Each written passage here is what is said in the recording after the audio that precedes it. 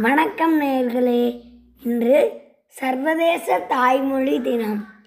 பிறந்ததிலிருந்து தாயோட அன்பும் அரவணைப்பும் எவ்வளோ முக்கியமோ அதே அளவுக்கு தாய்மொழி மேலே பற்றுதலும் அவசியம்.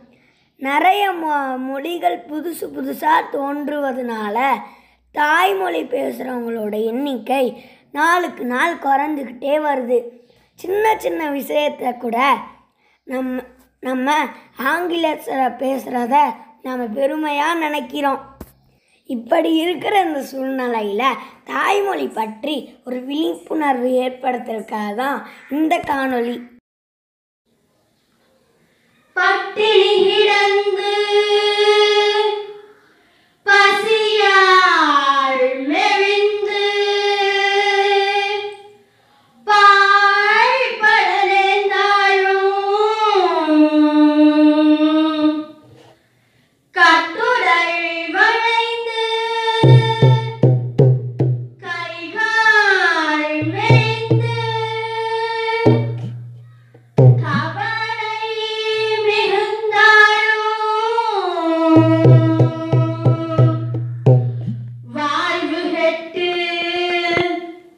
நடுத்தெருவோடு கிடந்து